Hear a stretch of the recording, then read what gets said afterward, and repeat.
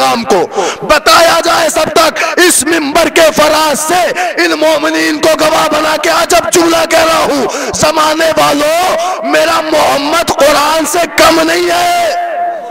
कहा क्यों? क्यों नहीं कम है? क्यों नहीं कम है? इसके अंदर तो सारे हरमूज मिले, सारी शरीयत मिली, सारे दीन मिला, सारी फितरत मिली, सारी तहजीब मिली। क्या मिला मोहम्मद के अंदर? का सुन मोहम्मद के अंदर एक बात जाने दे। मोहम्मद से मोहम्मद मिला, मोहम्मद से अली मिला। अरे गौर फरमाया आप, मोहम्मद से अली मिला, मोहम्मद से हसन मिला, मोहम्मद से हुसैन मिला, मोहम्मद से जुलशीर मिली, मोहम्मद से खदीर मिली। क्या मोहम्मद से खदीर मिली। मोहम्मद से काबा मिला मोहम्मद से किबला बना मोहम्मद से किबला मिला मोहम्मद से कायनात मिली मोहम्मद से ज़िंदगी मिली मोहम्मद से सीरत मिली मोहम्मद से सूरत मिली मोहम्मद से जुल्फे मिली अरे कहा है मोहम्मद से चेहरा मिला मोहम्मद से दोष मिला और मोहम्मद से मोहम्मद से मेराज की पर्दे वाली बात मिली और फरमाया आपने हाँ? कहा साहब क्या मिला मोहम्मद से? कुरान से अगर शरीयत मिली है तो मोहम्मद से कुरान मिला है।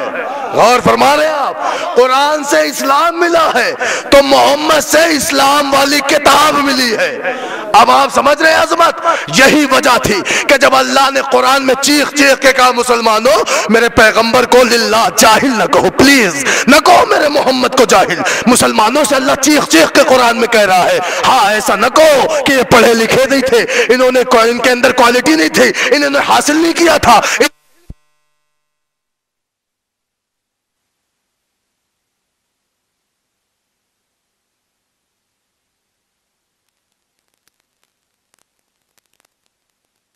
फजीलत अली का जनरेटर हूँ।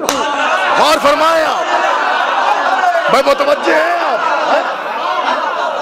है ना मुतवजे कहा साहब, फजीलत अली का जनरेटर बन गए। कहा साहब, चाहे जनरेट करते जाएँगे। सलावात पौधे मोहम्मद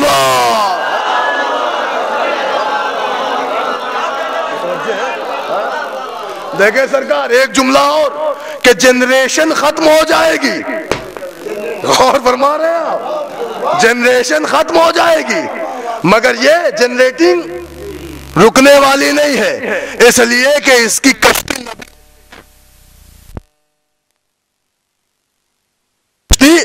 नबी ने कही है वो कहा है साहब जिन्होंने माइक ऑपरेट किया हुआ है? उनसे कहे कि अपना ख्याल रखें। एक और सलवात पढ़े, मोहम्मद वाले मोहम्मद पर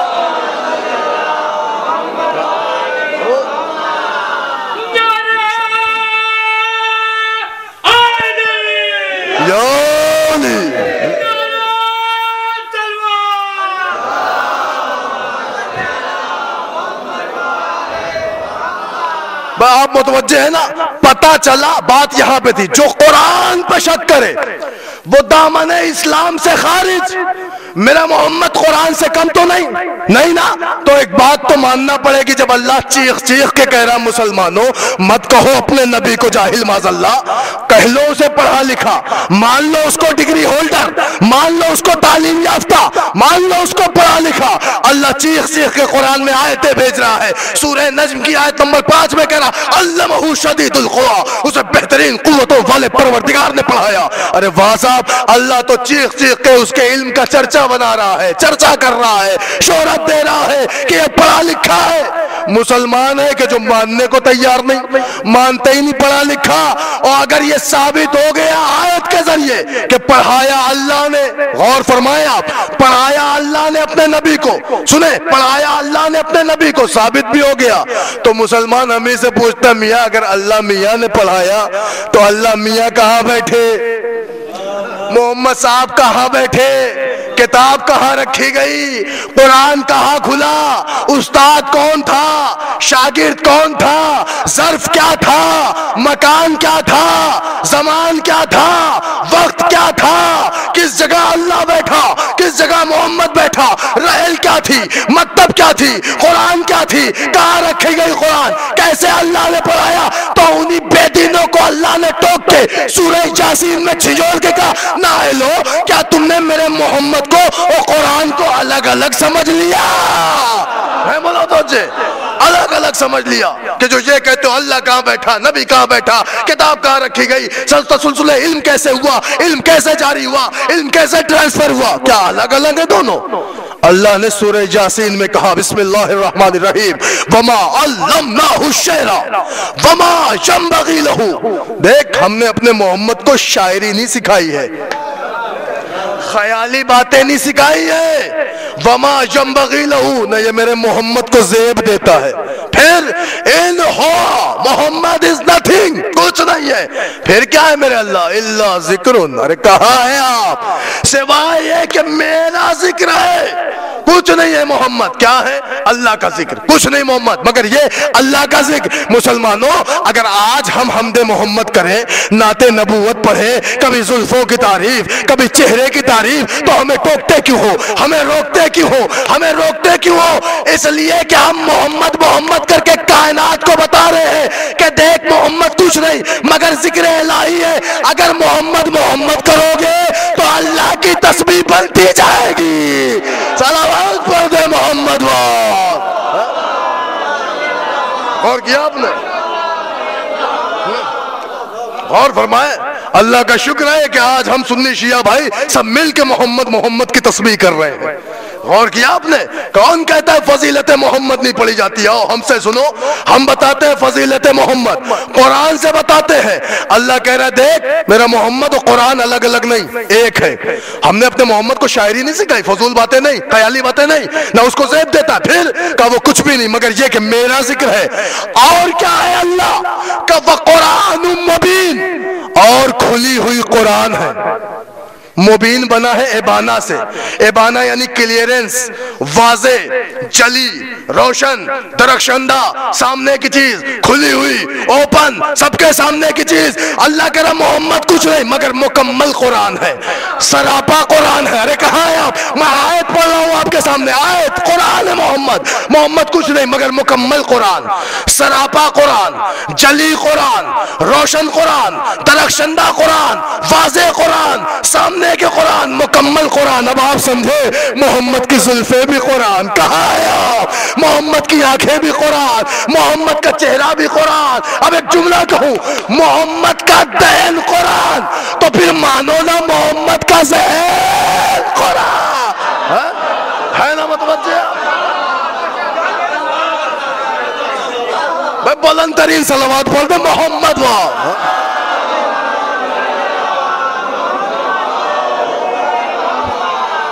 मोहम्मद क्या? मुकम्मल कुरान। वाज कुरान व कुरान मुबीन। सूर्य यासिन उठाइए, देखिए आप। का कुछ नहीं, मुकम्मल कुरान है। भैया, जब वो मुकम्मल कुरान तो किसी कुरान में हमने देखा, जैसे ही शुरू हुआ। अल्लाह ने कहा, इसमें शक नहीं होता। कहा है आप इसमें शुभा नहीं होता। ए मेरे अल्लाह, अगर कोई कर जाए, का फिर वो मुसलमान नहीं होता। अरे कहा है पता चला कि जो सामित पे शक करे, वो भी काफिर। जो नातिक पे शक करे, वो भी काफिर। सलाम पढ़ दे मोहम्मद मतलब? जो भी शक करे। अब आप जरा सा आयत से मिलाए। अल्लाह कह रहा अलिफ्लाम मीम। जालिकल किताब बफी ये ऐसी किताब है, ऐसा कुरान के जिसमें शक नहीं कर सकते आप। आपको इख्तियार ही नहीं शक करने का। अगर आप शक करने के लिए अपने जहन के घोड़े दौड़ाएँगे, गौर फरमाए आप, शक करने के लिए जहन के घोड़े दौड़ाएँगे तो फिर वो इस्लाम की बाउंड्री से अबूर कर जाएगा। गौर कर रहे हैं आप, है? बाउंड्री उस पार हो जाएगा साहब। लिहाजा शक नहीं कर सकते। अल्लाह ने पहले ही बाउंड कर दिया। नहीं, आप शक नहीं कर सकते। यही तो इसकी हैबत है। यही मोजा है कि आप शक नहीं कर सकते। इसीलिए अल्लाह ने अपने प्यारे मोहम्मद को कुरान से तशबी दी।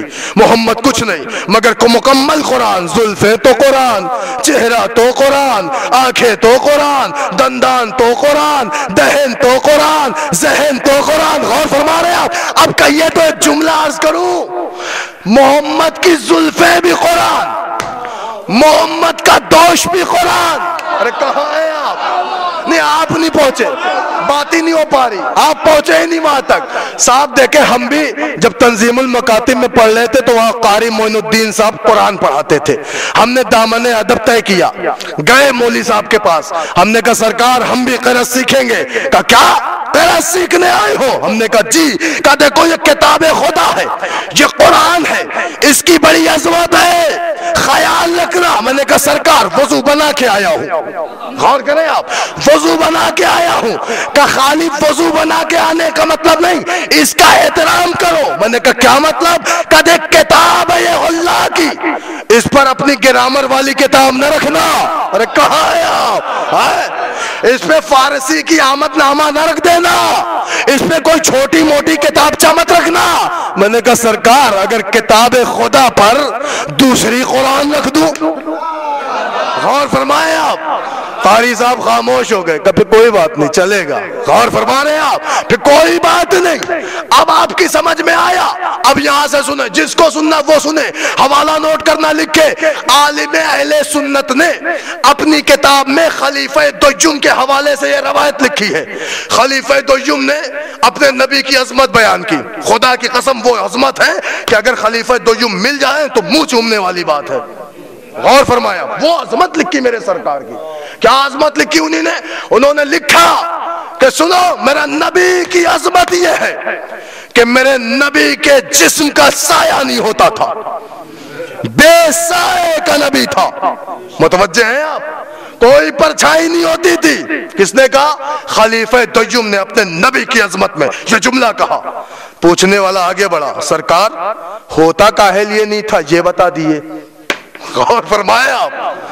है भाई, अल्लाह ने उनको बेसाए का क्यों बनाया? हम सबका साया।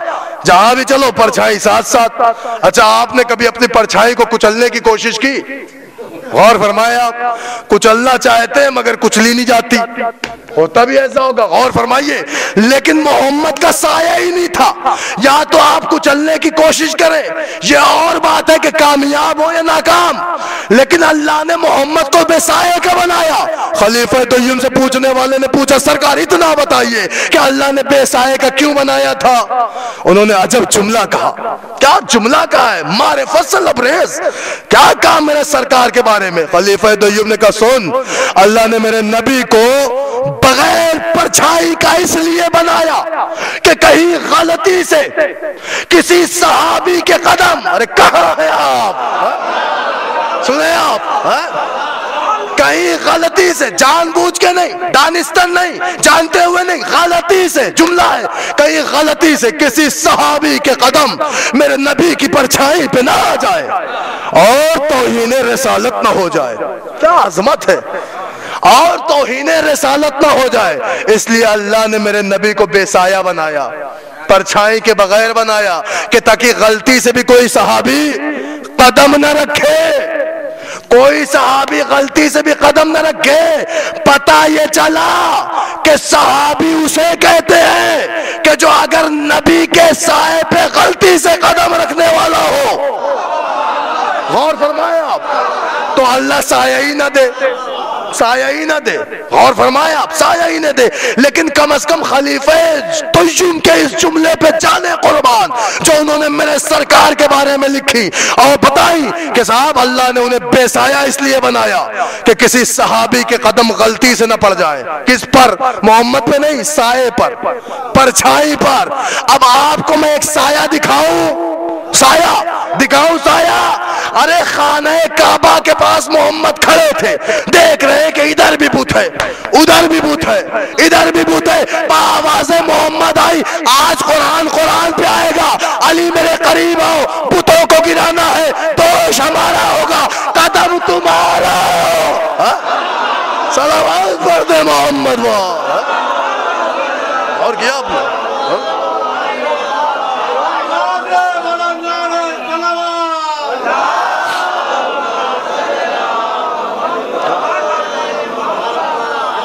है मुतवजे तो पता ये चला कि मोहम्मद मिसल कुरान। बफर्क ये है कि ये बोलते हुए कुरान, वो खामोश कुरान। मुतवजे हैं आप? ये बोलते हुए कुरान, ये खामोश कुरान।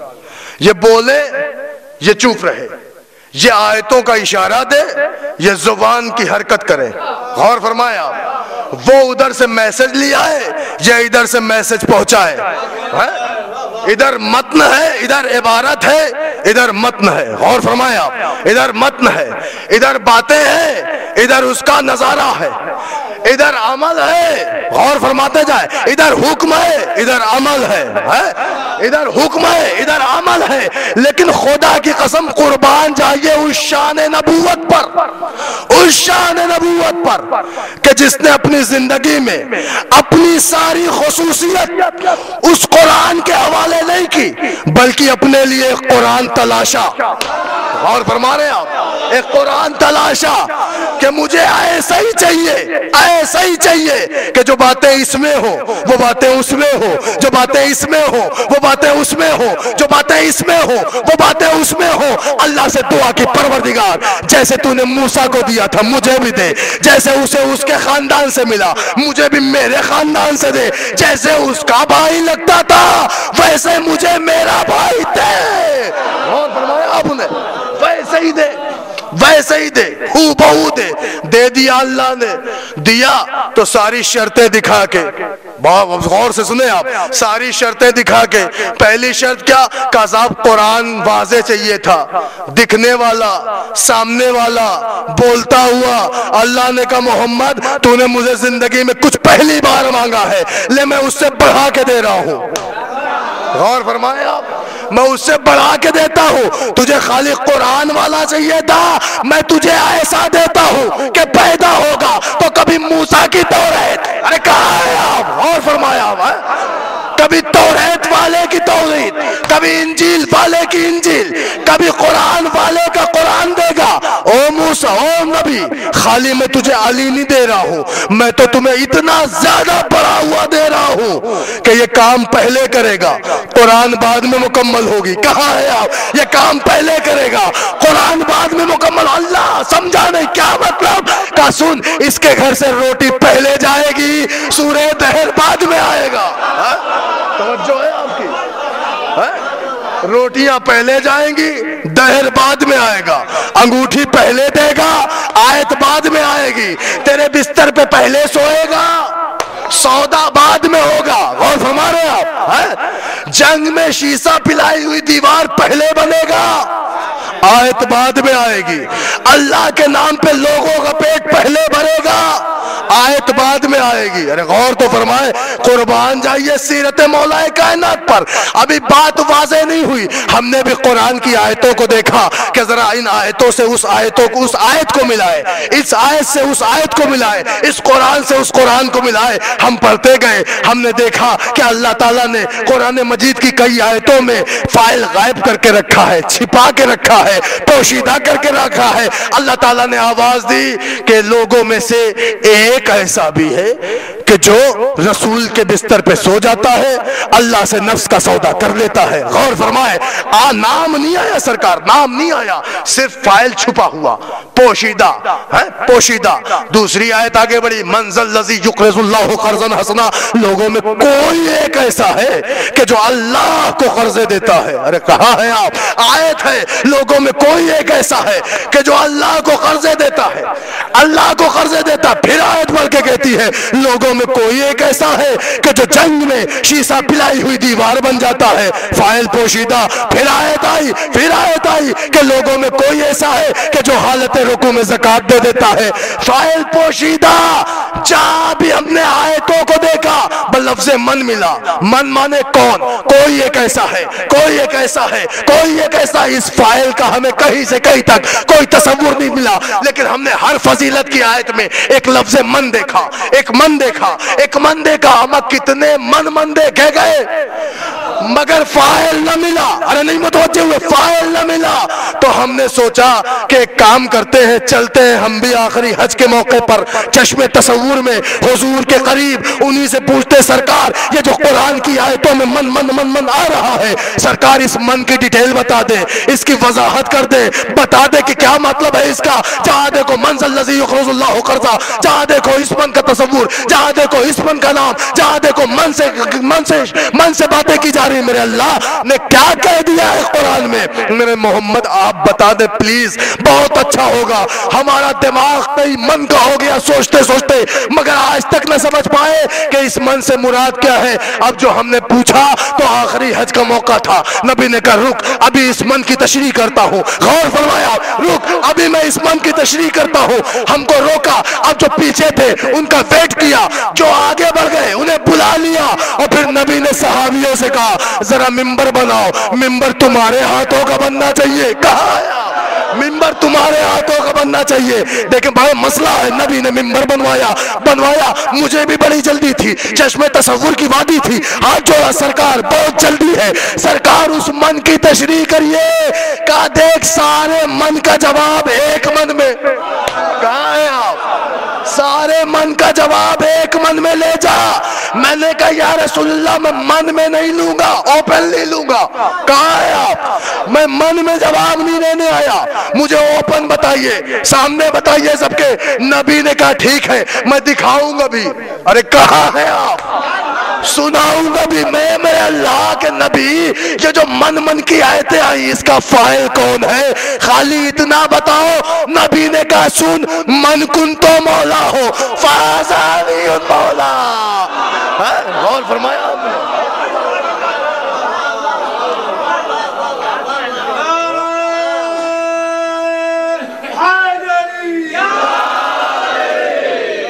भाई एक बुलंद तरीन सलावाद पढ़ दे, मोहम्मद वाले मोहम्मद पर।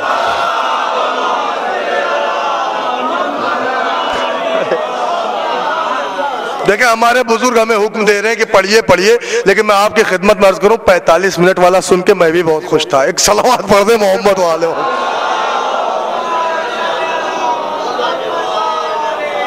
सरकार, मैं रात ही में दो बजे तकरीबन अकबरपुर पहुँचा हूँ बिहार से, और वहाँ मजलिस पढ़ के मैं सीधा चला रहा हूँ। नींद का मुझ पर भी वो एक गोताजनी हो रही है मुझ पर, कि जैसे नींदें बरस रही हो। जैसे शबनम बरसती है ना तो मैं आपकी खिदमत में हूँ सिर्फ़ और सिर्फ़ मैं खुदा की कसम आपकी मोहब्बतों की नज़र हो रहा हूँ, कि सिर्फ़ और सिर्फ़ आप तक कुछ जुमले पहुँचा दो। ये लोग, ये अली के मलंग, अली के चाहने वाले, कुछ सुनने के लिए बैठे, मामला ही अजीब होता है। खुदा की कसम, इसमें आप अपनी शान ना समझा करिए, कि हम फजीलत अली सुनते हैं तो खुश होते हैं। जब भी सुन के खुश होया करिए तो जाके माओ को सलाम किया किए कि जिसने आपको लोरियों में फजीलतें अली पिलाई। लोरियों में आपको अहले बैत मुसलाम की अजमत बताई। देखे अभी तक जो बातें थी वो तमहीद की थी। गौर फरमा रहे आप। अब जरा आप बा, मेन बातों में आइए पता ये चला कि परवर दिगारे आलम ने कुरान का माना बताया है। कुरान की अजमत बताई है और बताई है कि देखो इसमें शको शुभे की गुंजाइश नहीं।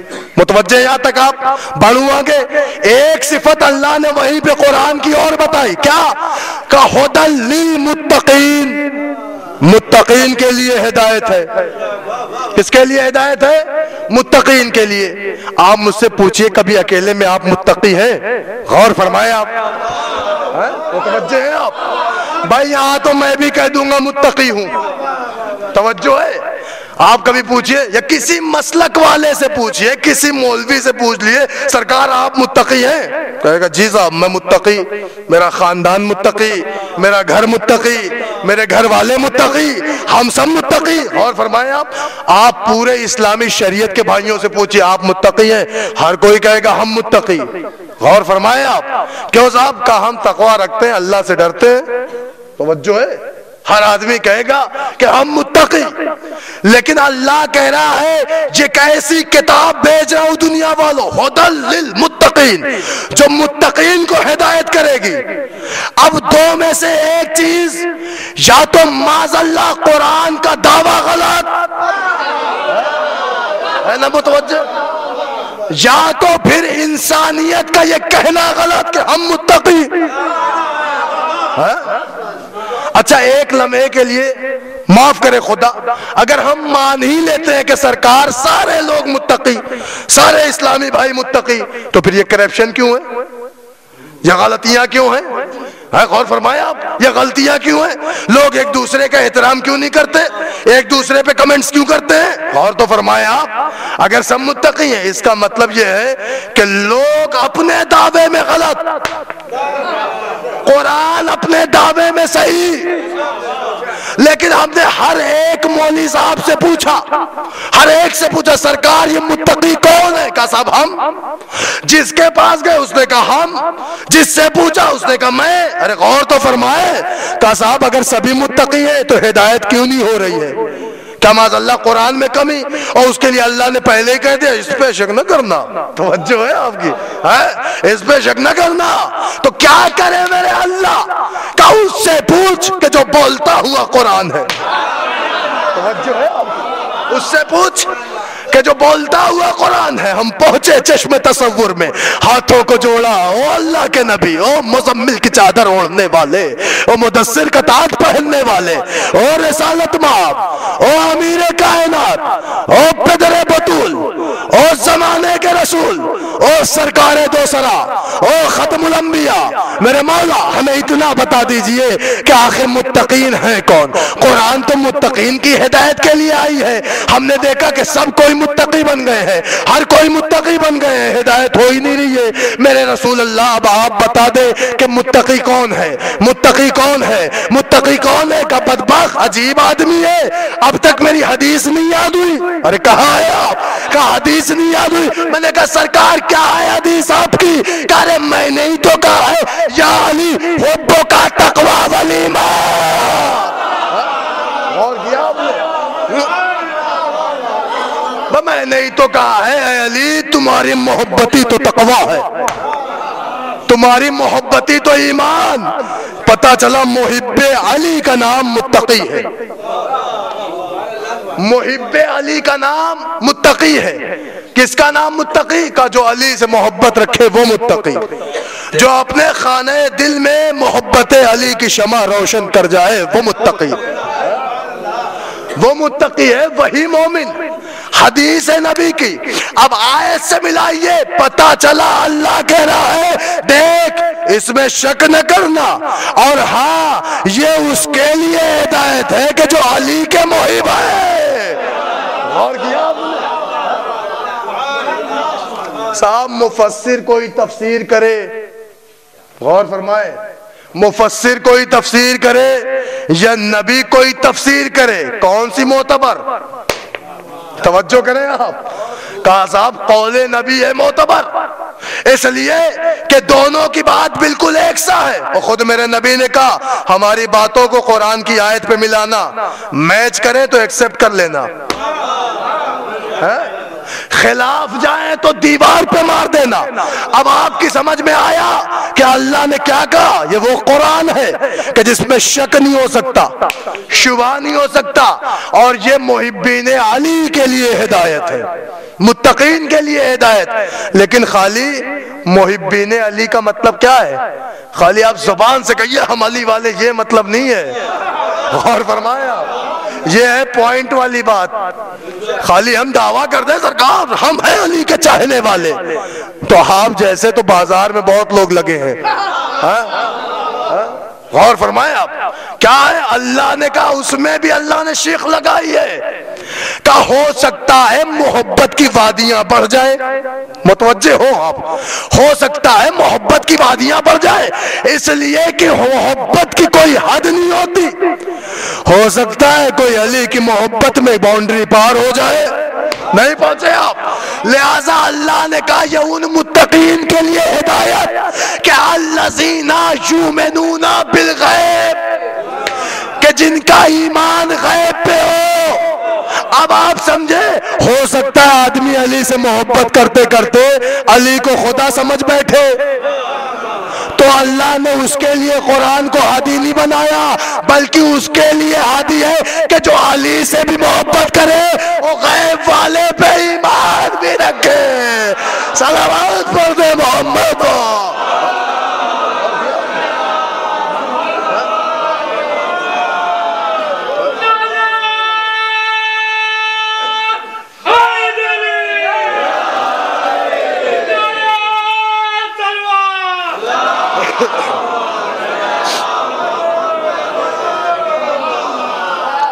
देखे साहब 45 मिनट होने वाला है, मुझे पढ़ते हुए। लेकिन उसमें आपके नारे सलवात और नारे हैदरी की भी टाइमिंग है। एक और सलवात पढ़ दे, मोहम्मद वाले, मोहम्मद तो पता ये चला सरकार कि मुहिबिन अली के लिए हिदायत, मगर ऐसे अली के मुहिब हो कि उनका ईमान गायब पे हो। और फरमा रहे हैं आप, गायब पे ईमान हो। गायब पर ईमान रख के जो अली की मोहब्बत रखता हो तो उसके लिए हिदायत कुरान होती है। और फरमाया आपने, उसके लिए हिदायत कुरान होती है। लेकिन अजीजों, हमने जमाने में अजब अंदाज के लोग देखे कि इन्होंने ये कह दिया कि साहब, हम कुरान को तो मानेंगे, मगर वारिसी कुरान को नहीं मानेंगे। क्या मतलब साहब? का इसलिए कि हमने जमाने का मैार देखा है। ये जो बोलते हैं उन्हें मानते नहीं। जो चुप रहते हैं उन्हें मान लेते हैं। मुतवजे हैं आप। है? आयत पढ़ू आपकी खिदमत में परवरदिगार आलम ने कुरान मजीद में एक आयत पेश की है। वो आयत है अल्लाह ताला के अपने घर के बारे में। रेजिडेंस और फरमाया आपने, उसके अपने घर के बारे में। अल्लाह ताला ने कहा कि बिस्मिल्लाहिर्रहमानिर्रहीम, इन्नल कवाइदल बैत। अल्लाह ताला ने उस कुरान में ये बताया है कि देखो, मेरा जो घर है, वो इतना पाको पाकीजा बना है कि उसे दो मासूम ने बनाया। दो हाथों ने बनाया, दो नबियों ने बनाया, बाप बेटों ने बनाया। अच्छा कुरान में कहीं से ये नहीं मिला कि इब्राहिम ने कहीं के मजदूर बुलाए हो। ए मेरे अल्लाह, तेरा नबी था, क्या जहमत थी? आजहमत देने की क्या ज़रूरत थी? बुलवा देते इब्राहिम से, कहलवा देते कि आ जाते कुछ लोग, लग जाते काम पर, बन जाता तेरा घर। अल्लाह ने कहा, घर मेरा था, लिहाजा पाकिजा बनना था। और फरमाया पाकिजा बनना था। मेरे मौला, आज तक तो मैंने नहीं देखा कि तेरे घर किसी के इस्तेमाल में आया हो। गौर फरमाया आप। और तू खुद ये कहता है कि मैं ला मकान हूँ। मैं कैद मकान में आ नहीं सकता। मेरे अल्लाह क्या ज़रूरत थी? इब्राहिम को इतनी भरी हुई घर, गर्मी में, तमाजत आफ्ताब में उन्हें लगा देने की बाप बेटे झूम रहे, जूझ रहे, बना रहे आपका घर। अरे बुलवा के मजदूर काम कराते, कुछ आसानी हो जाती, कहा नहीं, देख मासूम का घर था, लिहाजा मासूम हाथ लगे हैं। और मैंने इस घर को बड़ा अजीम बनाया, मेरे अल्लाह आखिर बनवाया क्यों? का बनवाया? इसलिए ताकि लोग यहाँ पे कूद करें। सजदे करें, रुकू करें और ये आलमीन के लिए हिदायत बन जाए। ये आयत है कुरान की कि ये बैत अल्लाह का ऐसा है कि जो लोगों के सजूद के लिए बना, रुकू के लिए बना, आलमीन की हिदायत के लिए बना काय के लिए? हिदायत के लिए। तो मेरे अल्लाह फिर इब्राहिम से क्यों बनवा लिया? भाई मोहम्मद आए थे, मोहम्मद से बनवा लेते। उस टाइम कुछ लोग मुसलमान हो गए थे, मुसलमानों का हाथ लग जाता। है? भाई साहबियों का हाथ लग जाता। ये क्या मेरे अल्लाह? कि तूने बनवाया इब्राहिम से? इतने पहले बनवाने की क्या ज़रूरत? ओ तो अभी तो न जाने कितने साल बाद किबला बनेगा। अभी तो नमाज़ का भी तस्वुर नहीं है। मेरे अल्लाह, ये क्या? इतनी मेहनत करा ली का तुझे पता नहीं। असल में उसमें आना था किसी मौलूद को और फरमाए आप मौलूद को आना था। लिहाजा मैंने ये चाहा कि जिसमें ये जाए, उसको बनाने वाला नबी हो। उसको बनाने वाला मासूम हो। अजीब मामला है। जब अल्लाह अली की विदायत, विलादत की चार दीवारी भी बगैर मासूम के हाथ नहीं चाहता। और तो फरमाए बगैर मासूम के हाथ नहीं चाहता तो ये कैसे मुमकिन है अली को सुलबे काफिर में रख दे? है, मुतवजे आप? कैसे मुमकिन है? लेकिन अजीजों परवरदिगार ने घर बनवाया। देखिए मैं जरा सा अपने जुमले तक आ जाऊँ। घर बनवाया क्यों? आयत कह रही है लोग रुकू करेंगे। है ना? रुकू करेंगे, सजदा करेंगे। और ये खाने काबा आलमीन के लिए हिदायत, यूनिवर्सल हिदायत, सबके लिए। कुरान तो मुत्तकीन के लिए है ना? काबा आलमीन के लिए। गौर फरमाए आप, काबा आलमीन के लिए। ठीक है, आप खुश ना हो, मैं आप ही से सवाल कर रहा हूँ, बताइए, कभी काबे ने आपको टोका? बताइए, काबे ने आपको रोका? काबे ने आपको मंजिल से मिलाया? काबे ने आके आपके लिए फसीले शब का चिराग जलाया? काबे ने कभी आके आपकी हिदायत की? काबे ने कभी आके आपको सोते हुए जगाया? यह नमाज़ हो रही है। जगाया साहब नहीं हिदायत की। फिर अल्लाह तो कह रहे आलमीन के लिए हिदायत। क्या मसला है अल्लाह का? कि ये कह रहा है, आलमीन के लिए हिदायत। काबा तो आता नहीं हिदायत करने। किसी को समझाता नहीं ममिया हद हो गई। खाने काबा की छतों पे शराब पी गई, टोका ही नहीं। और तो फरमाया आप ये ढकी चुपी बात नहीं, सबके सामने है, बिल्कुल क्लियर है। खाना काबा की बदुदवानी हुई, बेहुरमती हुई। काबा ने ये भी नहीं हुआ उससे कि अपनी छत से गिरा दे। और तो फरमाए, नहीं किया किसी को, नहीं समझाया, नहीं टोका। फिर कैसा काबा है अल्लाह? हिदायत नहीं करता। अल्लाह कहता, उर्दू पढ़ता है, जाकरी करता है, फसाहत नहीं समझता। गौर करें आप, है? उर्दू पढ़ता है, कलाम नहीं समझता। मैंने कहा, अल्लाह, कलाम में क्या फसाहत हो बलागत? का तुझे नहीं पता, तेरे उर्दू अदब में भी ये कायदा है। मैंने कहा, वो क्या? का ये कि कभी कभी जर्फ बोला जाता है, मुराद मजरूफ होता है। और फरमाया आपने, है? नहीं देखे बुज़ुर्ग तो समझेंगे ही, कुछ भी पढ़ू समझ जाएँगे। इशारे इनके लिए काफ़ी, मैं उन भाइयों के लिए अर्ज़ करूँ कभी कभी बोला जर्फ जाता है, मुराद मजरूफ होता है। अगर अभी मैं इनसे कहूँ कि देखिए साहब, कल से चाय बिस्किट चल रही है, खाना नहीं मिला। गौर फरमाए आप। तो इनका ठीक है, आप एक काम करें, मजलिस से पहले आपको एक प्लेट भर के दे देता हूँ। मुराद बिरयानी है। भर के दे देता हूँ, आप खा लिए। अब एक साहब आए, कहा साहब, आपने खा लिया का ना? हमने जी हाँ पूरी प्लेट खा ली। मुतवजे हैं आप। पूरी प्लेट खा ली, कोई ये नहीं पूछेगा स्टील वाली खाई, या मिट्टी वाली खाई, हर एक ने समझ लिया कि प्लेट भर के खाई, यानी प्लेट कोई नहीं समझा, मुराद मजरूफ है। अरे कहा है आप? जो प्लेट में है, चाचा ने देखा कि 45 मिनट से बेचारा चीख रहा है, गला सूख गया, धीरे से इशारा किया, पानी लाओ, गौर करें आप, पानी लाओ। एक साहब आए मैंने पी लिया कहा साहब और कितना पिया? मैंने कहा, एक गिलास पी लिया। मुतवजे है आप। तो क्या मैंने पूरा गिलास पी लिया? कहा, नहीं साहब, गिलास नहीं पीना। मसरूफ जो था पानी पिया। अल्लाह रोक के कह रहा है, टोक के कह रहा है, समझा के कह रहा है, कुरान बता के कह रहा है। कहा, देख, मैंने काबा जो बनाया, मासूम से बनवाया। नबी से बनवाया, बाप बेटों से बनवाया, अंबिया ने बनाया, और इसको मैंने आलमीन के लिए हिदायत बनाया। मेरे अल्लाह काबे ने तो हिदायत की नहीं का यहाँ भी सर्फ से मुराद मसरूफ है। अरे काबा नहीं हिदायत करेगा, मौलूद है काबा हिदायत करेगा। सलावत पर दे मोहम्मद और क्या या काबा हिदायत नहीं करेगा।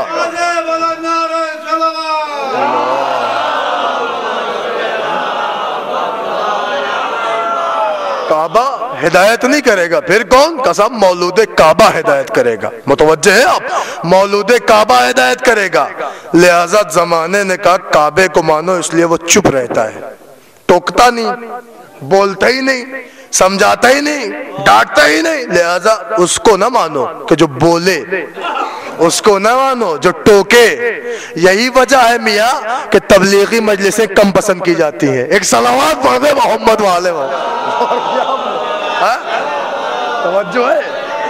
देखें, वो कोई सामने वाली बात नहीं, बात ये अंदर की। हर आदमी समझे, अब्बा हजूर भी डांटते हैं तो अंदर अंदर अजीब सी फीलिंग होती है। होती ना, बाद में समझ में आता है मैं क्यों डांटते थे? जब आदमी जहालत की सीढ़ियों पे खड़ा हो जाता है, तब कहता है, यार, ये पढ़ने के लिए समझाते थे, काश पढ़े होते। और फरमाए आप, उस वक्त बुरा लगता है, उस वक्त की फीलिंग्स आगे जाके कुछ और आईना दिखाती है। तब आदमी को समझ में आता है। तो पता चला कि लोगों की फीलिंग्स ऐसी थी, का उसको मानो जो ना बोले। उसको मान ना मानो कि जो बोले। गौर फरमा रहे आप, लिहाजा क्या किया? कसब कुरान को मानेंगे, सामित को मानेंगे, नातिक को नहीं मानेंगे, काबे को मानेंगे, मौलूद काबे को नहीं मानेंगे। और यही वजह थी कि लोगों ने कहा, बैत मानेंगे, अहले बैत नहीं मानेंगे। सलावत पढ़ते मोहम्मद वाह।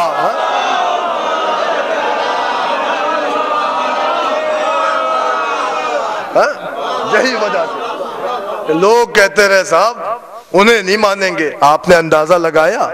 अल्लाह इरशाद फरमा रहा है कि ये वो लोग हैं कि जिनको हमने सरापा हिदायत बनाया है। इनका हर किरदार देखोगे तो हिदायत। इनकी पैदाइश से लेके इनकी शहादत तक हर हर मंजिल हिदायत है। अजीजो, जमाना खाम खा की बातें कर रहा है कि साहब, इस्लाम ऐसे फैला, वैसे फैला।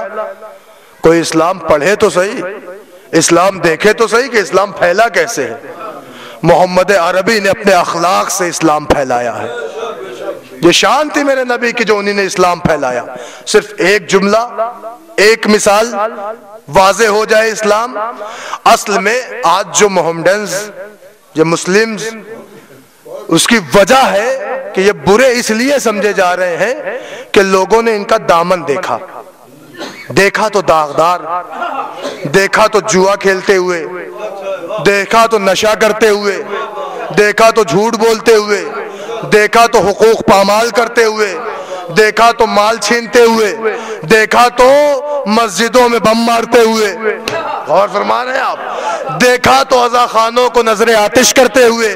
तो उन्होंने कहा, ये मुसलमान होके ऐसा करता है। इसका मतलब यह है कि इसका मज़हब कहता होगा कि हक छीनो। इसका मज़हब कहता होगा कि लोगों पे कब्जे करो। इसका मज़हब कहता होगा कि खून की नदियाँ बहा दो, सरोतन में जुदाई कर दो। नतीजा क्या हुआ? का सब दुनिया ने इस्लाम समझने के लिए मुसलमानों को देखा। गौर कर रहे हैं आप? मुसलमानों को देखा। ये इनकी सबसे बड़ी भूल थी। सुने आप, मैं मेंबर के फराज से बात अर्ज़ कर रहा हूँ। मुसलमानों को देखा, लिहाजा उन्होंने समझा कि इस्लाम गलत है। इस्लाम अमन का मज़हब नहीं, पाकिजगी का मज़हब नहीं, शराफत का मज़हब नहीं गौर फरमा रहे हैं आप। लेकिन हम इसी मिंबर के फराज से, मजलिस हुसैन के सदक़े में, इन मोमिन को गवाह बनाकर आज लोगों तक एक पैगाम पहुँचा रहे हैं। जमाने वालों, खुदा की कसम, अगर इस्लाम समझने की कोशिश करना तो हम मुसलमानों के दागदार दामन को न देखना। इसलिए कि हमें हर तरह का ऐब मिलेगा। अगर इस्लाम समझना है तो उनसे समझो जो इस्लाम लेके आए थे। और फरमा रहे आप, उनसे समझो। कि जो इस्लाम लेके आए थे, जिन्होंने अपना खून बहा के इस्लाम को ज़िंदा किया है। हम मुसलमानों ने तो खून बहा के अपना नाम ऊँचा किया है। हमें कुछ है ऐसे? गौर फरमाए कि जिन्होंने खून बहाया और सोचा नाम हो जाएगा। हमें बहुत से ऐसे हैं कि जिन्होंने लोगों को मारा ताकि हमारा नाम हो जाए, हमें एरिया वाले जान जाए, सलाम मारने लगे। गौर फरमा रहे आप, है? जान जाए। ये मुसलमान का शेवा नहीं है। इस्लाम तो अमन का मज़हब है, सलामती का मज़हब है, भाईचारगी का मज़हब है इतिहाद का मज़हब है। खुदा की कसम, आज सारी दुनिया के लोग इस्लाम पर और मुसलमान पर कमेंट्स करते हैं कि आतंकवाद है, ये दहशत गर्द है। मैं इस मजलिस हुसैन के सदक़े में इस मिंबर से कह रहा हूँ कि खुदा की कसम, जो आतंकवाद होता है, वो मुसलमान नहीं होता। और करें आप, वो मुसलमान नहीं होता। नहीं नहीं, मैं बात ऐसे कर ही नहीं रहा, ऐसे तो बात ही नहीं। सुने आप, अल्लाह को पता था कि 1400 साल बाद मुसलमान इतना बददाग हो जाएगा। गौर फरमा रहे हैं आप, इतना गिर जाएगा कि इसको देखा जाएगा तो इसका इस्लाम बुरा होगा। दुनिया का हर ऐब इसके अंदर। लोग इसे देखेंगे तो इस्लाम से दूर होंगे। जो पाकिजा मज़हब है, लोगों को करीब लाने वाला है, भाईचारगी का मज़हब है, लोग उससे दूर होंगे।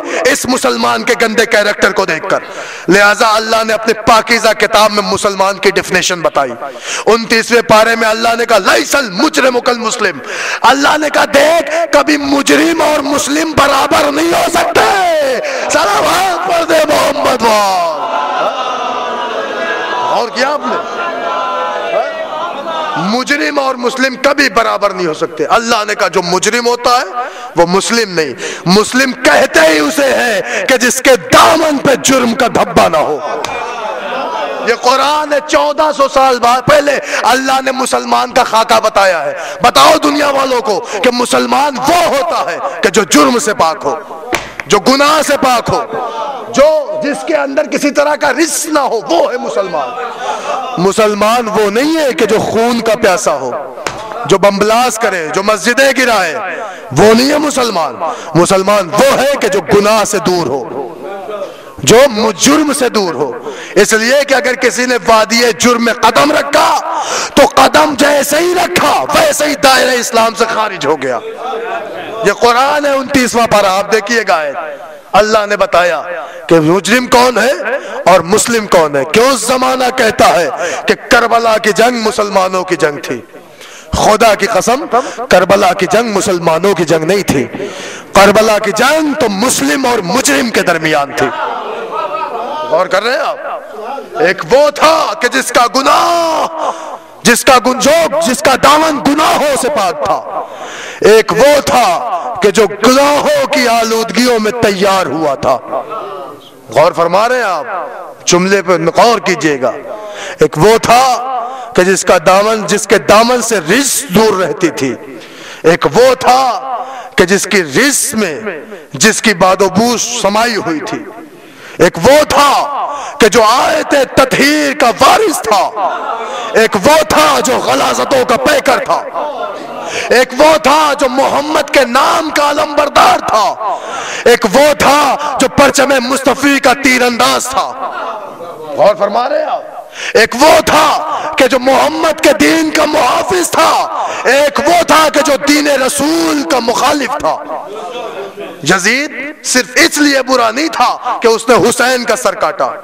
यजीद बुरा इसलिए था कि उसने नाम मोहम्मद पर अटैक किया, नाम खुदा पर अटैक किया, कुरान जैसी अजीम तर किताब पर अटैक किया, इसलिए बुरा था। अजीजो, उसने क्या कहा? न कोई दीन आया। किस पर एतराज़? सरासर इस्लाम को। हटा दिया उसने। न कोई वही आई, अल्लाह पर एतराज़। न कोई रसूल आया, पैगंबर पर एतराज़। ये तो बनी हाशिम के लोगों ने इकतदार रचने के लिए, इकतदार हासिल करने के लिए एक साजिश रची थी। आप गौर करें, ये जवाब ये बयान था यजीद का। खुदा की कसम, जब दीन के वारिस ने जुमला सुना है तो अजीब गरीब अंदाज में हुसैन ने कहा, नाना, ये कौन पैदा हो गया कि जो तेरे खुदा को बुरा कह रहा है? तेरे दीन को बुरा कह रहा है, तेरी किताब को बुरा कह रहा है, तेरे घर वालों को बुरा कह रहा है। नाना, मैं आपके घर से हूँ। नाना, मैंने आपका लुआब पिया है। नाना, मैं आपकी गोदियों में खेला हूँ। नाना, आपने मुझे दोष पे बिठाया है। नाना, आपने मेरी सारी ख्वाहिशें पूरी की हैं। नाना, मैं आपकी तमन्नाओं का वारिस हूँ। ए नाना, मैं रहूँ न रहूँ, तेरा दीन ज़रूर बचेगा। अजीजों, क्या अजमो इस्तकलाल लेके हुसैन करबला आए? आए तो दस मुहर्रम को दीन की बका के लिए अजीम तरीन कुर्बानी पेश कर दी। बाजीजों में एक घंटा पड़ चुका पर दो चार जुमले मसायब के सुन ले। ये ताबूत की मजलिस है। ये शब्बेदारी की मजलिस है। पहली मजलिस है।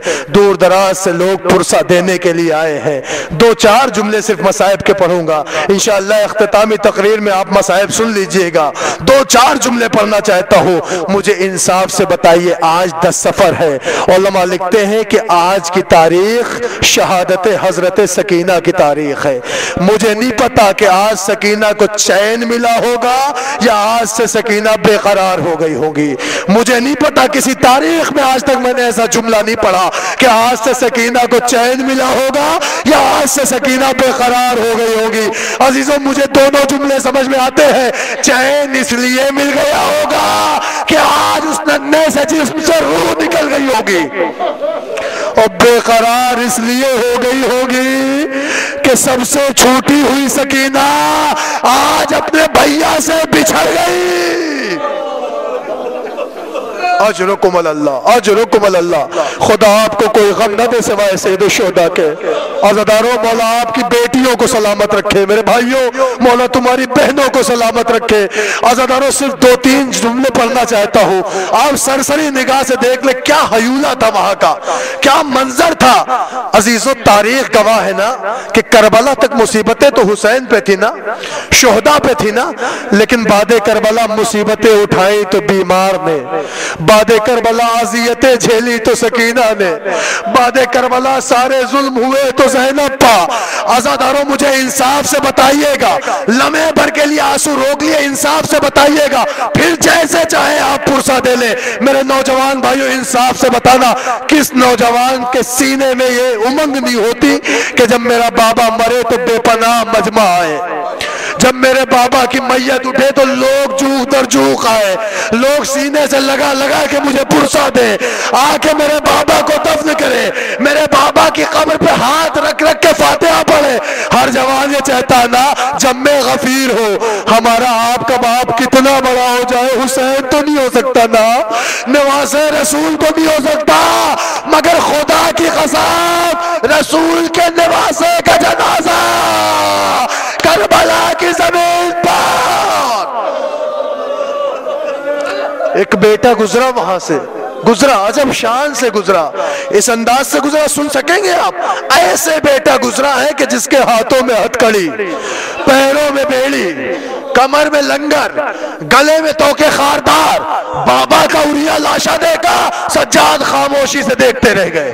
बाप का जनाजा देख रहे हैं, बाप की मैयत देख रहे जैनब ने सज्जाद का चेहरा देखा, आज जोड़ा लाल में तुझको नहीं खो सकती, सज्जाद में तुझे नहीं खो सकती। बेटा, ये क्या देख रही हूँ? एक आंसुओं की कतार चली, ए पुपी अम्मा, अरे जिसका जवान बेटा, उसके पापा का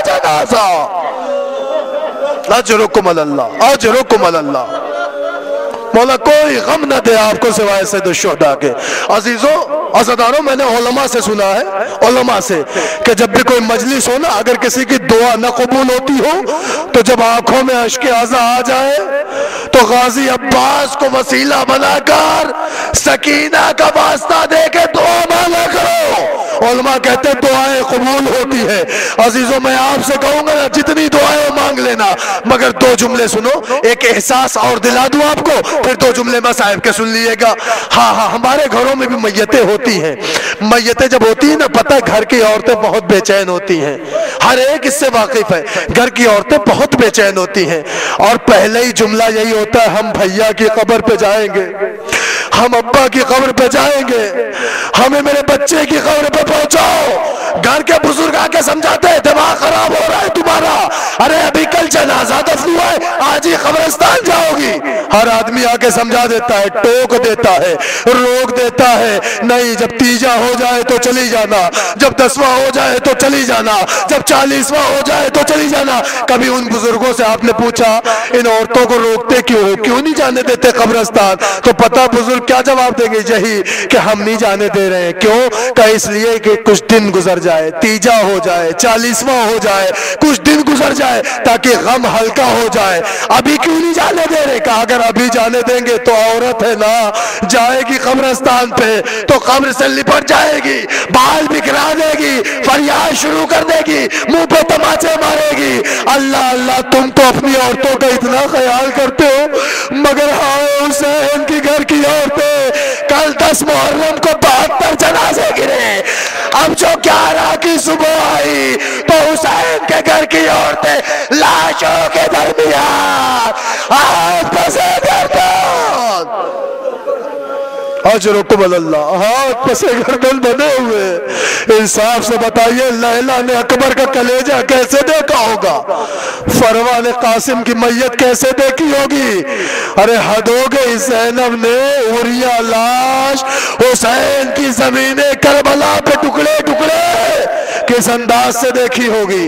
अजीजों, ऐसी मुसीबत तो कहीं नहीं पड़ी जैसी करबला में देखी गई। मगर हाँ हाँ आज तो शहादत जनाब सकीना है ना? आज जनाब सकीना का मातम करने आए हैं ना? सुने, कितनी गरीब हो गई थी हुसैन की बच्ची। इधर हुसैन गए, इधर आँसू का सिलसिला शुरू हो गया। इधर हुसैन मारे गए, इधर तमाचे लगने शुरू हो गए। इधर तमाचे खत्म हुए, उधर दामन में आग लग गई। इधर दामन में आग लगी, उधर बाबा को ढूँढने निकल पड़ी, उधर जैनब लेके आई। अजादारो इधर सुबह आ गई। हाकिम कहता, हर ऊँट पे दो बैठेंगे, मगर हुसैन इसको बहुत मानता था, इसलिए तना बैठेगी। अजीजों, कितनी दास्तान गम है। कहा, अगर ये बैठ नहीं सकती तो इसे बाँध दिया जाए। सीने के बल लिटाया गया, ऊँट के पुष्प बांधा गया, ऊँट को गया बहन भैया भैया से मजबूर होके कहती, भैया भैया भैया खाल छिल गई है। भैया सीना जख्मी हो गया है। ए भैया, हड्डियाँ टूट रही है। भैया, बहन को बचा लो। आजादारों, कितनी मुसीबतें झेली है सकीना ने। तारीख लिखती है, जब कूफे में आई तो कूफे की औरतें कहती थी, जैसे ये यतीम हुई है, खुदारा हमारे बच्चों को यतीम न करे। जैसे ये मजबूर हुई है, हमारे बच्चे ऐसे मजबूर ना हो। जैसे ये गरीब है, अल्लाह मेरे बच्चे ऐसे गरीब ना हो। अल्लाह कैसे सुन रहे आप? कितनी गरीब हो गई सकीना। बस दो मंजर सुन लीजिए आप। नहीं मिला किसी तारीख में कि सकीना को सुकून कब मिला। नहीं मिला किसी तारीख में कि सकीना की प्यास कब बुझी। मगर अजादारों, एक रवायत मिली है। वो रवायत में आप तक पहुँचा देता हूँ। कैद खाना शाम में एक मरतबा सकीना रो के अपने भैया से कहती, भैया भैया इमाम हो। हाँ बहन, इमाम हो। भैया साहेब एजाज हो। हाँ बहन साहेब एजाज हो, भैया मोजजा दिखा सकते हो? हाँ बहन, मोजजा दिखा सकता हो। ए भैया आलमुल गैब हो हाँ बहन, आलमुल गैब हो। ए भैया सज्जाद गैब का इल्म रखते हो हाँ बहन गैब का इल्म रखता हूँ। एक बार तो हाथ जोड़े बीवी ने, शहजादी ने हाथ जोड़ के कहा, भैया, तेरी बहन एक सवाल चाहती है। बहन से सज्जाद कहते, सकीना, तेरी पूरी ख्वाहिश तो कोई नहीं कर सका अब तक। बहन सवाल ही पूछ, तेरा भाई वादा करता है, तेरे सवाल का जवाब देगा। सकीना लरस के कहती, भैया, मुझे इतना बता दो कि प्यास की कैफियतें कैसी होती है? भैया, मुझे इतना बता दो कि मनाजिल आतश क्या होते हैं? प्यास की कैफियतें क्या होती हैं? प्यास के दर्जात क्या होते? सज्जाद रोने लगे। रोते रोते गरीब भाई जंजीरों में जकड़ा हुआ। अपनी छोटी बहन को दिलासा देते हुए कहता है, सकीना, मत पूछ बेटी, प्यास की अजीब कैफियतें होती है। भैया, बताओ, मनाजिल आतश क्या होते हैं? सकीना, सुन, जब किसी को बहुत ज़्यादा प्यास लगती है ना तो गला सूख जाता है। ए भैया, अगर किसी को उससे ज़्यादा प्यास लगी हो सज्जाद रो के कहते सकीना, फिर जबान में कांटे पड़ जाते हैं। भैया, अगर कोई उससे भी ज़्यादा प्यासा हो, और रो के सज्जाद कहते सकीना, फिर न पूछ फिर बदन का पानी सूख जाता है। सकीना रो के कहती, भैया, अगर कोई उससे भी ज़्यादा प्यासा हो एक बार तो रो के सज्जाद कहते सकीना, फिर न पूछ फिर जिस्म का खून सूखने लगता है जोड़ के कहती, भैया, अगर कोई उससे ज़्यादा प्यासा हो, सज्जाद रो के कहते आप नहीं बता सकता।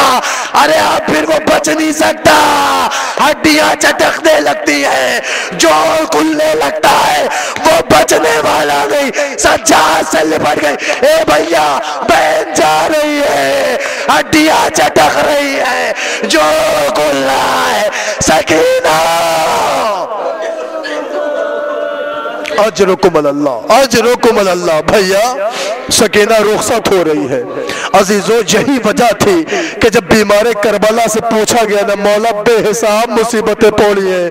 मौला खाली इतना बता दे कि सबसे ज़्यादा तकलीफ़ कहा हुई? बीमार करबला ने करबला नहीं कहा, कूफा नहीं कहा। रोके गरीब इमाम कहते अशाम अशाम अशाम अगर समझे ना, राह शाम बाज़ार शाम जिंदान शाम कयामत आ गई अजदारो कयामत आ गई यही वजह थी कि जब जिंदान शाम में सैयद सज्जाद ने सुना कि रोज़ाना सकीना बाबा को याद करती है, रोज याद करती है। सो जाती है एक दिन सकीना बाबा को याद कर रही थी। आबिद बीमार दूर थे, समझ गए कि अभी रोती रोती सो जाएगी इत्तेफाक ऐसा भी हुआ कि सकीना सो भी गई, मगर अजादारो सज्जाद वही मौजूद थे। अभी सकीना उठी तो एक मरतबा नींद का गलबा खत्म हुआ, सकीना की आँख खुली, इशारों में हाथ उठाया, बाबा एलैया भी एलैया भी एलैया भी एलैया भी, बाबा अभी तो यही थे, बाबा अभी तो मुझे प्यार कर रहे थे, बाबा अभी तो सीने पे सुलाए थे, बाबा अभी बातें कर रहे थे, बाबा अभी रुखसार चूम रहे थे, ए बाबा अभी सुल्फा में उंगली फेर रहे थे, बाबा कहाँ चले गए, बाबा कहाँ चले गए करती बैठ गई। हुसैन की बच्ची बैठी। आबिदे बीमार ने हथकड़ी संभाली। पैरों की बेड़ी कमर का लंगर, गले का तो संभाले हुए। बीमार इमाम बहन के करीब आया, बहन चुप हो जाओ। तूने बाबा को ख्वाब में देखा नहीं भैया। बाबा आए थे मेरे पास, मुझसे बातें कर रहे थे। कह रहे थे, सकीना, चलो मैं तुम्हें लेने आया हूँ। कयामत आ गई अहले हरम जमा हो गए। समझ गए, बच्ची ने ख्वाब में देखा। मगर जब ख्वाब का जुमला सुना ना तो जैनब से बर्दाश्त ना हुआ। कलेजे पे हाथ रखा। ज़मीन पे बैठ गई मेरे अल्लाह। मेरे भैया की अमानत। बैठ गई ज़मीन पे। अजादारों बीवियों में कोहराम बर्पा हो गया। यजीद की नींद उजड़ी। जालिम कहता, क्या बात है? ये रोने की आवाज़ आज इस कदर क्यों है? कि कोई और बात नहीं लगता है बच्ची ख्वाब से बेदार हुई है। उसने अपने बाबा को ख्वाब में देखा है। बाबा की याद आ रही है। उसके रोने से सब रोने लगे। यजीद कहता अच्छा बाबा को ख्वाब में देखा है। जा इसके बाबा का सर दिया आजादारों मुझे इंसाफ से बताना, आपके छोटे छोटे बच्चे होंगे। मौला, तुम्हारे बच्चों को हज़रत सकीना के तुफैल में सलामत रखे। आजादारों इंसाफ से बताइए, जो बच्चा अभी अपने बाबा को ख्वाब में देखा हो, जब उसके सामने बाबा का कटा सर आएगा तो क्या आलम होगा? अजीजों, सकीना रो रही थी कि जालिम ने तश्त का सर सकीना के पास पहुँचाया।